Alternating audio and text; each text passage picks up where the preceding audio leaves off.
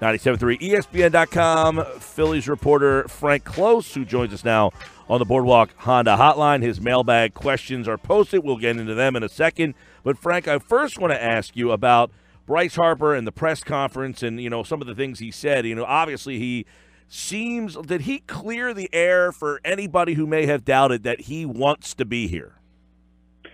I think so. Uh, you know, I think what we saw from Bryce Harper in the press conference, somebody who was very sincere.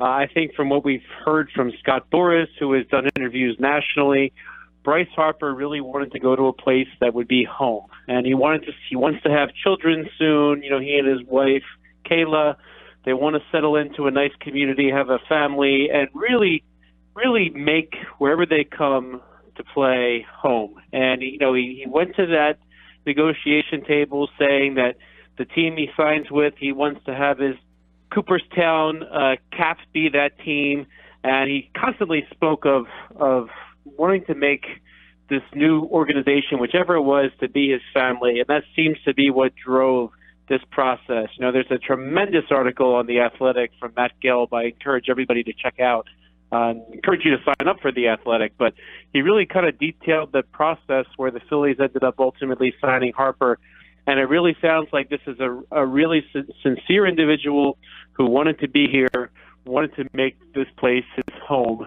and I think any rumors out there that he didn't want to play for Philly uh, probably would be some sort of posturing by the agent through the media, perhaps. There seems to be absolutely no validity to it whatsoever. Yeah, he came off pretty sincere. He came off as a guy who thought a lot about where he wanted to be, and I don't want any opt outs. I wanted to stay here for the rest of my career, 13 years in Philadelphia. He even joked that I take 26 million. That keeps things open for other guys, and you know he has made a couple of references to Mike Trout uh, down the road, and you wrote about it at 97.3 ESPN.com, Frank, about those two guys texting throughout this process. So it seems that Harper is going to a be a recruiter for the Phillies down the road. Yeah, you know that's one thing he said. He wants to be the guy that's there long term, that will be the one who not just is the face of the franchise, but helps attract other faces of the franchise. And you know the, the Mike Trout discussion. We're going to get that nonstop for the next two years because that's the next big name that could come down the pike. And when you spread your three hundred thirty million dollars over thirteen years, uh, that average annual value is only 25.4 million, and you know that the luxury tax is calculated by the average annual value of the contracts, not what the player is making that individual year. So that really is a lower number. The last few years of this deal are only for 22 million. So that keeps the number down and, and definitely lets the Phillies have some flexibility to add another impact player. So until we find that Mike Trout has signed an extension with the Angels, which he won't even discuss at the moment. He said he, he's not going to discuss it this spring training or season, which kind of raises some eyebrows. Uh, but until he's a free agent, we're going to keep wondering if that will be the next person to join the Phillies. By the way, Harper is going to uh, go in a simulated game tomorrow. He'll face uh, Jerad Eickhoff, and then he will uh, play on Saturday against the Blue Jays. So anybody heading down there this weekend, you'll get a chance to see Bryce play on Saturday. Let's get into some of the mailbag questions for Frank. These are questions submitted by listeners and fans uh, at Frank Klose. By the way, today it's Aaron Nola making his Grapefruit League debut. We'll get you an update on how he does uh, in just a minute here. Uh, let's go to the bench, Frank. Uh, David wants to know your prediction. We It's like the Sixers. They have a great starting five, but who are the bench players? You know, I did not get a single Bryce Harper question for the first time in a long time, so it's actually kind of refreshing. Uh, but it, it is a testament to how well the starters are and how obvious the starters are going to be. But you know, the Phillies bench is really going to depend on the health of a couple players here. We know uh, Roman Quinn and Odubel Herrera are currently out with injuries. Uh, some good news coming in today. Mon- uh, Meghan Montemurro of the Athletic said that Roman Quinn is ahead of schedule and his recovery is going pretty well, and, and opening day is very much in play for him. And Odubel Herrera actually has the flu right now, so that's kind of keeping us from knowing how his hamstring injury is responding. But but the Phillies have too many players for their for their roster right now, which is an interesting problem to have. You know, you look at the outfield now that you've added Harper, you have McCutchen. You know, the two of them aren't going anywhere, and then you have Quinn Herrera, Altherr, and Nick Williams. And one of those guys is not going to sit on the roster when you look at the bench because if the Phillies go with 13 pitchers, which they very well may do, that only leaves room for Scott Kingery, the backup catcher, uh, who I believe will be Andrew Knapp still, and then it leaves room for for for one fewer player than the Phillies have, and and and really to kind of sort that out, I would I would say that Nick Williams, I think, would have to be optioned to the minor leagues. Now, that sounds a little bit alarming because Nick Williams is a pretty decent, promising young player. But of all those players that we mentioned in the outfield, only Nick Williams can be sent to the minor leagues. And because Nick Williams can be sent to the minor leagues, if he's on your roster along with everybody else, hmm. everybody's healthy, somebody's got to go. And if you want to keep him in the organization and keep all the other players in the organization, it's probably got to be him. Now, now Aaron Altherr, he's he's really your one backup center field option uh, beyond Herrera and Quinn. Again, if they're not healthy, everybody fits. If one of them isn't healthy, but uh, but also Aaron Altherr is a right-handed bat that they could use on the bench. And you know, when you consider the 13-man bullpen that they might use, uh, Scott Kingery's got to be your only backup infielder. So that really squeezes the Phillies dramatically. Uh, I think somebody like Sean Rodriguez, if he's healthy, uh, he had a little setback early on, but he's playing games now, is probably somebody good to have on your roster if you have 12 pitchers because Rodriguez can give you versatility in the infield and outfield. You know, one thing about your your backup infielder, you always kind of need somebody to be your uh, reserve up the middle uh, who can play short or, or second base. To to be on the bench is kind of the last bat off the bench because if, if you have an injury to one of those guys, what do you do? So, um, so I think it'd be helpful if Kingery could hit a little bit more, and uh, you'd have somebody else to be that last guy. And I think Sean Rodriguez could be that guy. So a lot depends on on bullpen, but there there are many relievers competing for spots.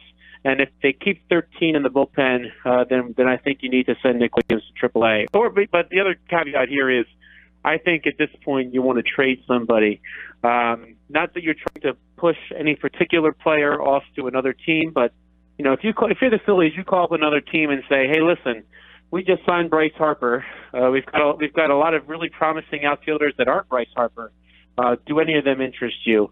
And then maybe you can you can work out a trade to get some assets for the future. That might be the best way to maximize this because I, I mean even beyond these guys, Dylan Cozens is having a nice spring, so um, they they have other people they can call up in a pinch if they do trade one of these young players. Zach wants to know what's going to happen to Adam Morgan with all those arms in the bullpen.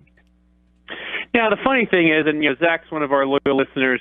Uh, I don't know if he's pro Adam Morgan or anti Adam Morgan. I know Adam Morgan took a lot of heat from fans when he was uh, in the starting rotation, for example, and then as he got used to the bullpen. But I actually think pretty highly of Adam Morgan in the bullpen as one of the left-handed relievers. And Adam Morgan, one, one thing that people don't realize is that he he struck out more than a batter an inning if you look at his numbers throughout the course of last season. And that's pretty significant because often your left-handed reliever comes in to face a tough lefty after the previous reliever left a couple runners on base.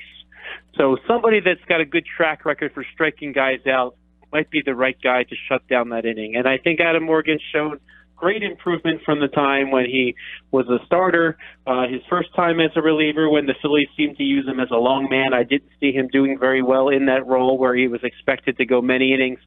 But I think that he that since he became kind of the the go-to left-handed guy, and you know I look at some of the big games last year, like when they faced the Red Sox. I, you know I credit the Phillies beating the Red Sox half the time to someone like Adam Morgan taking care of those lefties in the Red Sox lineup. So, so I think he's in good spot to stay. And you know, if I'm just kind of running through the bullpen to figure out how it shakes out, you know, obviously you have David Robertson, their, their free agent signee, who will be on there. Uh, Neshek, Hunter, Nicasio, they're all right-handed veterans under contract, and Seranthony Dominguez certainly isn't going to go anywhere. Uh, but beyond that, I, I think Jose Alvarez is going to be the next left-handed arm in the bullpen. The Phillies picked him up from the Los Angeles Angels in exchange for Luis Garcia. Now, uh, Alvarez struggled a little bit early on for the Angels, but had a really good second half, and I think he's going to get the first shot to be a left-handed arm out of the bullpen to pair with Morgan.